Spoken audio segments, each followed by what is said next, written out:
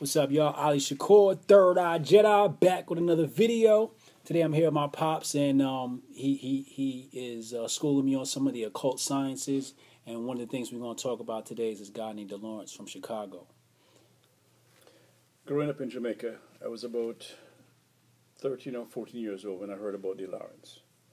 So I wrote to him. I got a catalog from him, and uh, I ordered a kerchief from him and uh, in the catalog, it stated, whenever you use this kerchief, whatever you're doing, you always succeed at it. Mm-hmm. So we were playing a game named Skittle, almost like pocket billiard. But he had pins in front of each hole, about one, two, three, about four pins, if I remember correctly. And the object was to sink the balls into the hole without knocking over the pins. And if I was losing, all I had to do was take the kerchief out, wipe my face, put it back, and I couldn't lose. I mean, you could play skittle all day, couldn't lose. then, because of the success with the kerchief, I ordered a pen. And uh, I wrote an application for a job as a lead former, I mean, lead electrician. At the time, I was an apprentice. I got a letter in return and replied that I should come in for an interview. I did not respond because I knew I was not qualified for the job. Days passed, and the owner came to my house and asked me why I didn't come. I told him I had no uh, no tools. So he told me, "Don't worry, they will provide tools." So when I went to his office the following day, he took out the letter, glanced at it, look at me, glanced at it, look at me, and said, "The job is yours. Start tomorrow." This pen, whatever you wrote with with this pen, was granted. I got a talisman, it looked like a coin. By the way, the kerchief was silk, and in the center of the kerchief there was a circle. Mm-hmm. And in that circle, I remember correctly, well, there were seven symbols in it. The kerchief could never get dirty. I also ordered um, the six and seven books of Moses, the Book of the Dead, and if I'm not mistaken, um,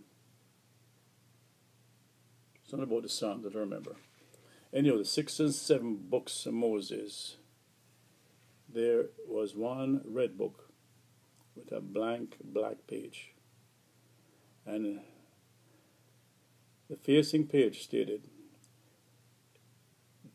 Do not turn this page unless you want, um, if you turn this page, you will have no lot or part with God. Hmm. So I didn't read that book anymore.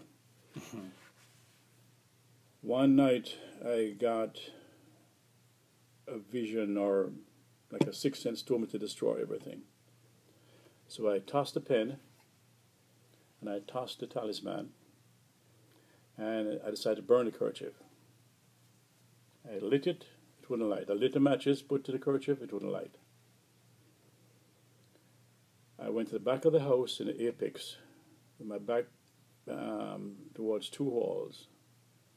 Tried lighting it, the matches went out. I got newspaper, wrapped the kerchief in newspaper, the matches went out. So I said to myself, is impossible.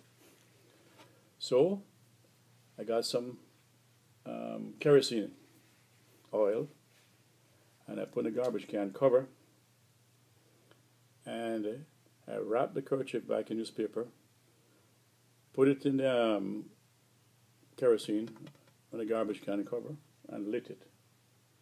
It wouldn't light. So I got a newspaper, another piece of newspaper, wrapped it, lit it, and held it by the um, garbage can cover. And the flames that lit out of that thing was over 10 feet high. Hmm.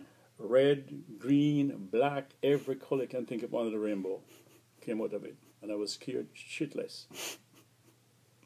From then on, I had no interest in occult. and then when I was about 24, 25, a friend of mine had a Ouija board. Mm-hmm. And we decided to play the Ouija board. And they start asking who died in this house and what date that person died and which horse was going to win the race. And about two hours of that, the Ouija kept going by goodbye, goodbye, goodbye. And that night, nobody slept. There were people walking in the house. The following day, we got the Ouija board, packed that baby up. I went about three street um, streets over and put in a garbage can. I don't want to see another Ouija board. and the Ouija board is just an ordinary board. It looks like brown with all alphabets from A to Z Mm-hmm. and zero to uh, from one to zero. And From zero to nine. Zero to nine, and then on top of it there is um, like a triangle with three legs, and the top of it was uh, like a piece of plastic, so it's transparent. Mm-hmm. So when you say the um, the, the the the words I came with the Ouija board, when you say those sayings, the Ouija board start the um, that triangle thing starts moving, Mm-hmm. and spell out whatever you want. What the answer is. Now you said that de Laurence, his stuff was banned in Jamaica. It was banned. Matter of fact, if I'm not if I'm, if I'm not mistaken, if you go to Wikipedia, Wikipedia, yeah. yeah, and look up de Laurence, you may find history of it. hmm Yeah, on Wikipedia it says that it, his stuff was banned in the island of Jamaica. Yep, So in order to get it, you had to, they had to disguise the packaging yep. with no return address Right. to get these items. If you're caught with it, you're going to jail. Wow. Y'all heard it first, live from my father. Peace. Make sure y'all subscribe.